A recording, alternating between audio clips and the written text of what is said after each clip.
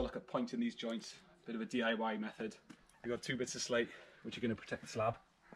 from either side of the joint, like so. This will mean the mortar doesn't stain the slab. We got our mortar, which is a four to one mix. Make sure it's a good mix, as always. And just push it down in the joint.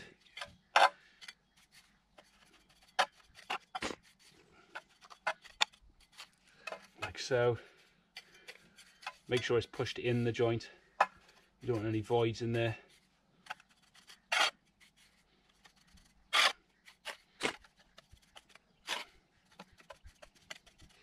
Right, now, once the joint is filled, you can take the slate away and you have your mortar in the joint.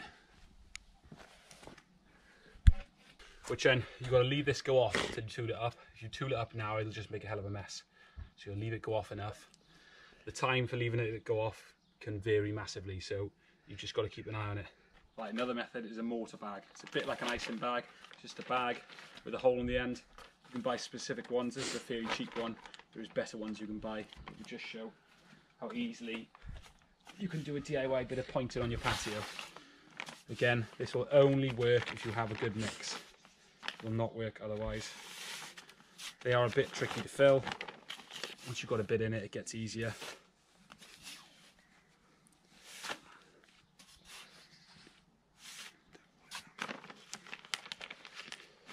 So you have to hold one end like that.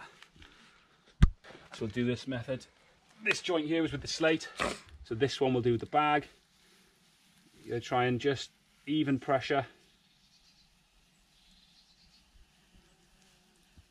Like so.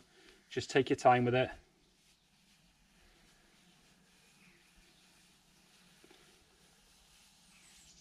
You want to make sure you're slightly proud of the joint because when you tool it off, it's going to push it down.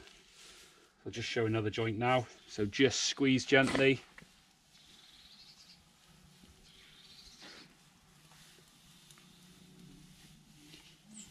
Like so.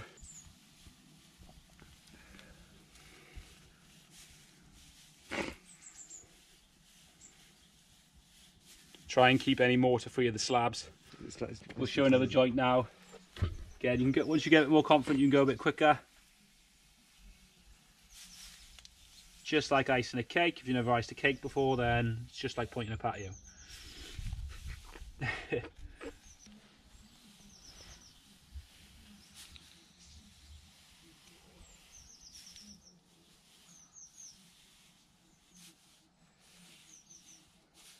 and just keep your pressure so you can let it come out slowly and move with it as you go.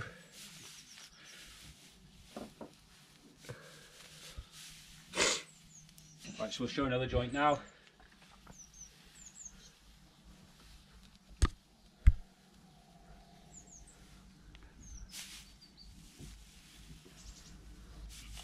It's actually nice and clean method it is.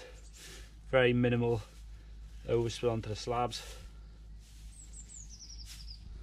Right, last method is the Point Master. These are a bit more expensive than the basic tools we use there. The mortar bag is pretty cheap and the slate, if you got them lying around, cost you nothing. But these are nice and clean and quick and not much strain on your hands because you, you've got decent force pushing it down. Again, this only works with a good mix. It's got to be a good mix. So you want to load it. Be as clean as you can loading it because the cleaner you are loading it, the less mess you're going to get on your patio. Yeah, you want to fill it over the barrow because any drops then just go back in the barrow. Again, it's just light pressure pushing it in. You want to be slightly proud on the slab. It doesn't matter too much if it is on the slab because it, you'll be surprised once it's dry how little staining will be as long as, you, as long as you don't try and rub it off when it's wet. That's the main thing. And you can always go over your patio with a bit of cleaner a few days later if you really do make a mess of it. Once you're used to this gun, very quick and very easy to use. Got to make sure you keep it clean, but it is a very good method. Right, we've put all the points in with various methods. We've left it go off a bit. The time for leaving it go off will vary depending on the, the heat. You, you want to try and not do it in direct sunlight because it will go off too quick and dry too quick. So we've got a pointing bar, which is half round. If you really don't want to buy a pointing bar, you can buy a bit of, so you can use a bit of copper pipe, or yeah, or any sort of pipe, just bend it a bit, but ideally buy a jointing bar. So what you want to do when it's dry enough is run your bar through it like so. If you just look, this is just dry enough. And the reason you want it to be dry, if it's not dry, anything on the sides will mark the slabs. But if it's dry enough, if you look now, when you move it, that's not marking the slabs or staining it. You just want to run it through like that, very quick. You can see now why you want to leave the point in a bit proud because where it's not proud in places, you have to fill in. But where it's proud, and you haven't got to go back over it or anything.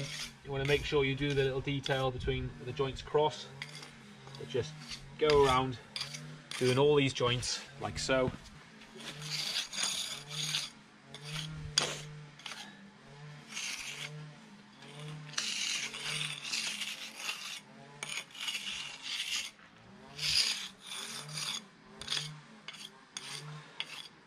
Just keep going like that once you've done it all, it can be brushed off then. Right, now we tooled it up and it's gone off a bit. You want to brush it off. You can't brush it off straight away when you tooled it up, but once it's gone off a bit, you can brush it off. Reason being, you don't want to leave marks in the compo. You see there, it's leaving very little marks in there. If you've got any bits you've got to touch up as you go, you can just run the bar back through it, like so. You just want to brush it into the middle of the slab. Just make sure there's no bits in the joint. Want a nice soft brush on it. Right, so we'll just brush these joints off with a soft brush. If it starts leaving marks here, that means the point is too wet. But this is ample now. You just go around the whole patio, brushing it off like that.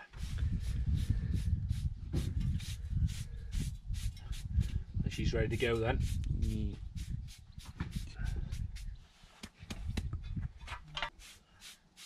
You just want to brush it into little piles in, it, in the middle of a slab and you can scoop them up then.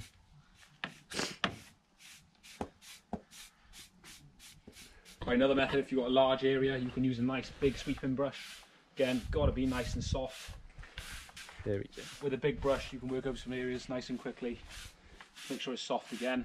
Make sure you're not leaving anything in the joints. You can really start to work quite quickly then. Again, make sure you're not dragging it over the joints or anything. It's dry enough, it won't do that. So you've got to get these bits out of the joint, the dustiness, like so.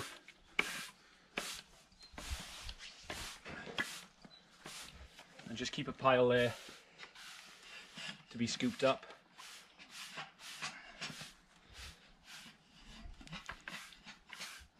This is job done on this now. All the joints are brushed off and that's how it is. If they start drying out really fast and the sun comes out, then you can give it a light spraying with the hose, but don't go crazy because you don't want to make any joints run.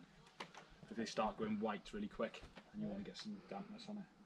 There, job done, hope that helps.